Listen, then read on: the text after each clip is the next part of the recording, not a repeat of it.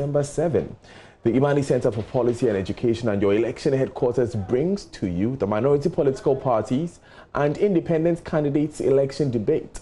Our guest today is Kofi Koranteng, another independent candidate who is confident of beating both the NDC and the NPP come December 7. Before I engage him though, watch this.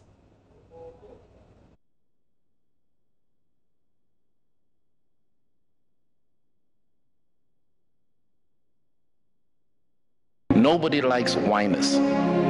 People that spend all their time whining all the time, I really get on people's nerves. So stop whining. Really? Who travels 3,000 miles to be a whiner? We could have been whiners from our constituencies. We didn't need to come here. So this attitude has to change. If you want to engage us, then be serious about engaging us because we're not here to play. Thank you. Stop spending. This doesn't work. This doesn't work. This doesn't work. This, please, we know it doesn't work. So stop whining all the time saying it doesn't work. If it worked, you probably wouldn't be sitting there. So nobody likes whiners. So stop whining. You are right. We came here to sit with the decision makers to formulate policy to help us integrate us into the system. Where are the decision makers? You tell me. Where are they? Where are they? They are nowhere around here to listen to us. So now, everything we talk about here is going to be second and third class. It's going to be washed out, and whatever is left is going to be passed on to the decision makers. Everybody comes in here and has an attitude that, oh, I got something better to do. And we have Kofi Koranteng with us, joining us via Zoom live from the United States. Um, good well, it's good afternoon here. What time is it where you are? Uh, good afternoon. uh, good afternoon. How you doing, Mr. Dadzie? I'm doing well. I'm doing well. Um, let's get to Excellent. know you better, uh, first of all. Uh, who are you? Who is Kofi Koranteng? And why should anyone take you seriously as a presidential candidate? Well, uh, I'm a husband. Uh, I'm an entrepreneur. I'm an advocate for what's right. Um, I've worked at the wealth capital in finances on Wall Street. I have an engineering background, so the way I process problems is different. Um, everybody comes in with an attitude, you know, we have a problem, we have to have a meeting, we have to have uh, uh, a committee formed, we have to have, uh, uh you know, let's get together, talk and talk and talk we want to get to it. First thing I do, faced with a problem, you take a look at the facts, you evaluate the facts, and you make a conclusive decision which way needs to go.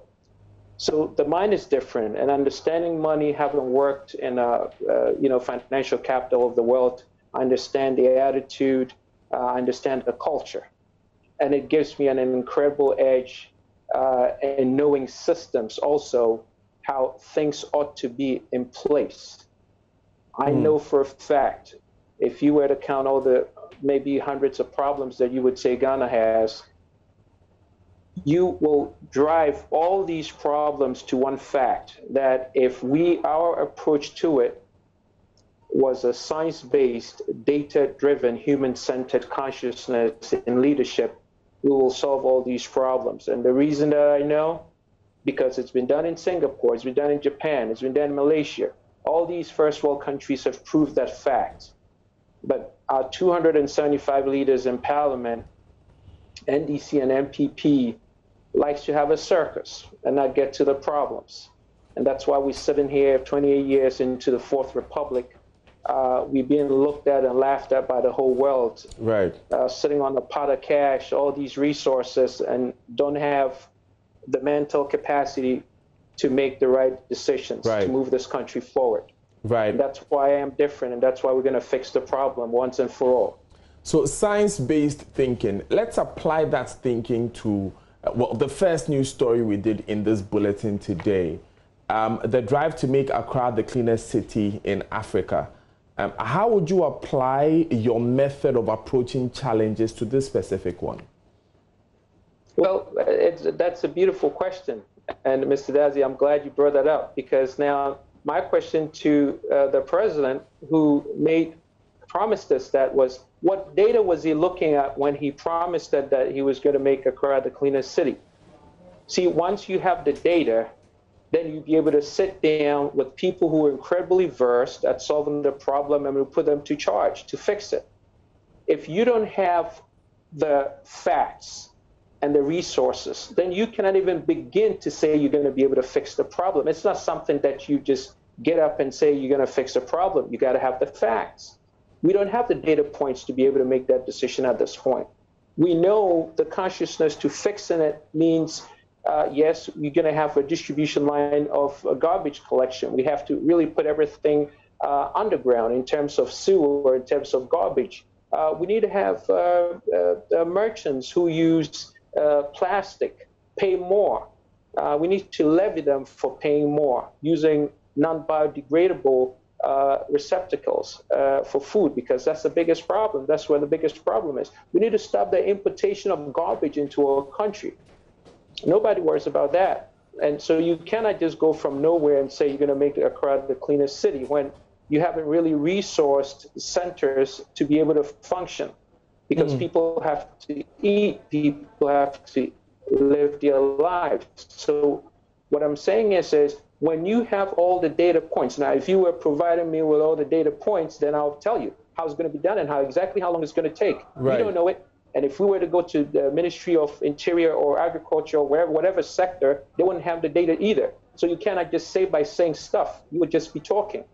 Okay. You need data, Mr. Dadzie. Okay, so I, it, it's a fair point that you raised that we need data to inform a promise like making Accra the cleanest city in Africa. Uh, but we do have a few points, and I was just having a conversation actually with the vice chair of the Coalition of NGOs in Water and Sanitation, made some very interesting um, revelations. We spend only about 1.4% of our GDP when we are dedicating it to the wash, the entire wash sector. Unfortunately, Ghana has seen about 15,000 cases of cholera on the average every year. We have about $300 million dedicated to the sanitation sector alone which does not seem to be having as much dividend as it is. There is mm. some. There is, however, um, a mindset that perhaps we have efficient waste management companies. So, so the data, yes, is there. We we have seen that we have 11 landfill sites in Accra. All of them are full. Um, so there is an, an indication of what the data is. But my question is, is that do we have an idea how to approach the problem? How Absolutely. are we going to approach it? Absolutely. Mr. L- listen to me. This is very simple. It's simpler than you think. You see, everything you've talked about in the last couple of minutes about this data, it's not really tied to anything. It's not tied to anything. See, the first point is you need to have an integrated national ID and address system. You know why you need to have that? Because we need to start holding people accountable. Now, you cannot hold people accountable if you don't know them and you don't know where they live. That's the first problem. You see, so everything you've talked about, good, not good enough. But we, we have seen see, we, we have seen investments and this this government's first year in power saw the rollout of the Ghana Post GPS system, which is a national addressing system, and then the National Identification Card, the National Identification Authority has issued millions of cards now which is the identification system. So they are being applied, no? No, it's not. And you're not, you're talking only half the facts. Listen, in the just completed uh, voter registration, 80%, 80% of the national card, of the Ghana card was based on people, guess what, uh, guaranteeing for other people. Okay, 80%.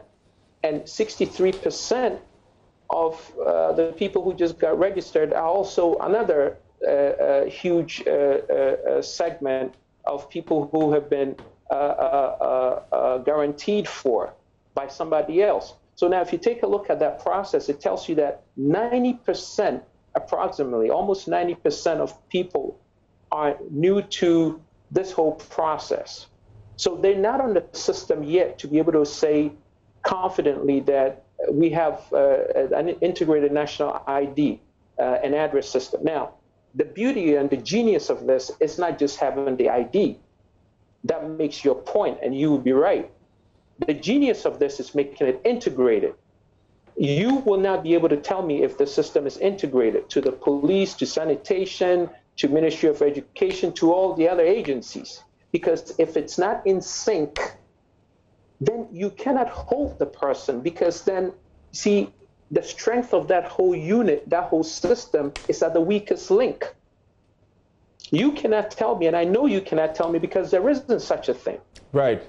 Right. See? So just by you having an address system, Anand sees something that's hanging out in the sky somewhere doesn't mean anything because it's not tied to anything. Okay. So we're not just having processes. We have to have processes that's linked and meshed together to make Right. sense, to Right. be interpreted and to be applied to our lives.